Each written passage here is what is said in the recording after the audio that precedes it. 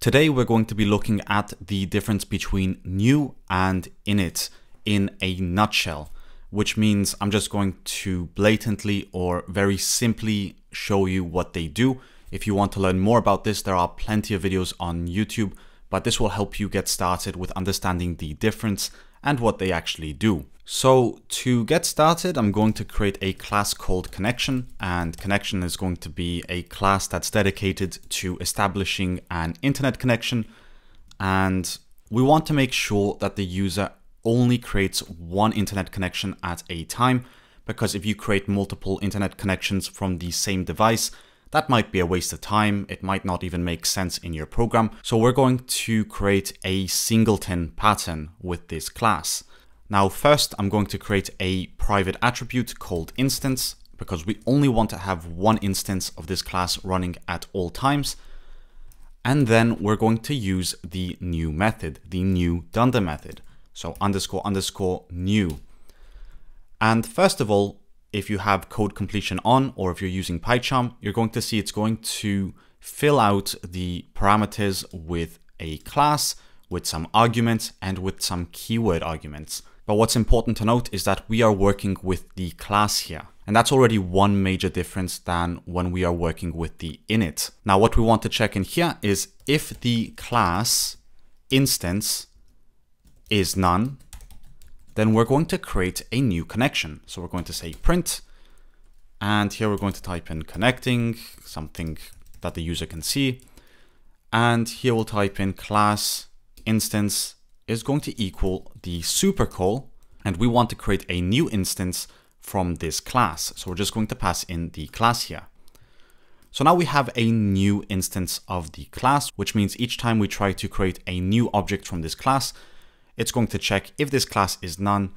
And since this will not be none the next time we create an object, it's not going to create a new instance. But something that's very important when you use the new dunder method is to return the class or the instance. So here we'll return class instance. Because if you return nothing, then it's not going to be able to call the initializer. You always need to return some sort of class or object. So that's what happens if the instance is none, if this is the first object we're creating.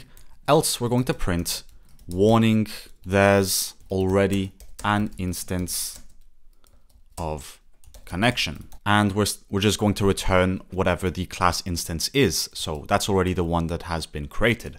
So that's a very simple example of using new. Now let's create our initializer. So down here, we'll type in def init, and all we're going to do is print connected to the internet. So let's try to create a connection. Here we'll type in connection because we want to connect to the internet, and that's going to equal a connection. As soon as we run this, we're going to get connected to the internet. We're going to try to connect, and now we are connected.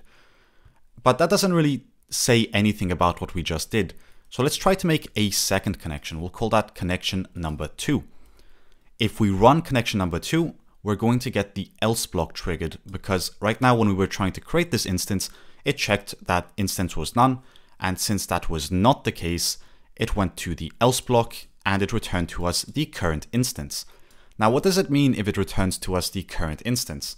Well, it means that we have the exact same instance for both of these variables. And if we print, let's say connection is equal to connection 2, we will get true because both of these point to the same object. We're pointing to the instance that we created earlier, the first instance. So now no matter what we do, if we try to create a new connection while we're already connected, or while we already have a connection object, it's not going to do that. It's going to tell us there's already a connection, so we don't waste those resources. A more common example with the singleton pattern would be with a database. You don't want to create several instances of the same database because that just makes things a bit more complicated, but this example should get the point across. So to sum up this example, the new dunder method is always called before the initializer and it takes care of object creation, which means you can actually include some extra functionality that modifies the class before actually creating the instance.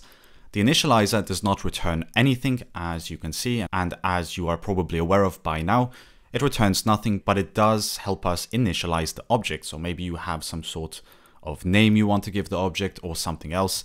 in the initializer, you can do a lot of that setup. But I'm going to show you one more example that should help you grasp this concept. And this time we're going to create a class called vehicle. And we're going to do the same thing as earlier. We're going to use the new dunder method. Except this time, we're not going to use the args and keyword args. We're just going to add wheels of type integer. And actually I need to paste in two classes, which I do not want to write by hand. So right below that, I'm going to paste in a motorbike and a car. These are two classes that I'm going to use for this example. And all they do is initialize an object. One's a motorbike and one's a car.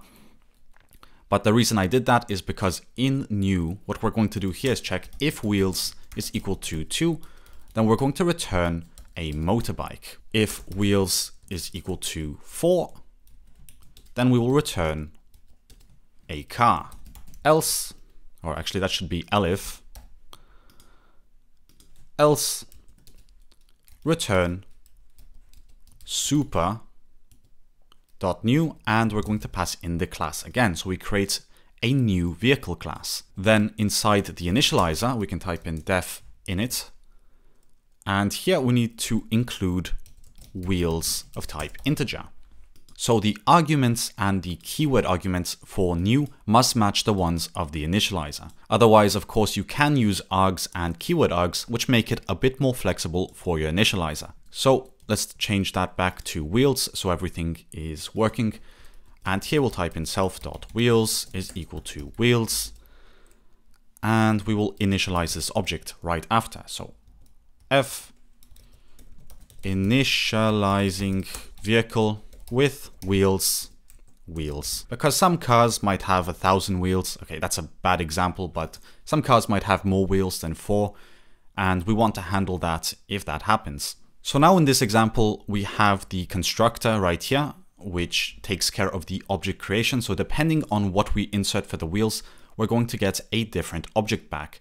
But always remember to return something or else the initializer will never get called and if we go all the way to the bottom and actually try to use this code, we can type in that MB for motorbike is equal to a vehicle with two wheels. And if we run that, we will get initializing motorbike because up here it triggered the if wheels is equal to 2 and it returned to us a motorbike object. The second example can be a bus. We can say there's a vehicle with uh, 20 wheels. It's an interesting bus.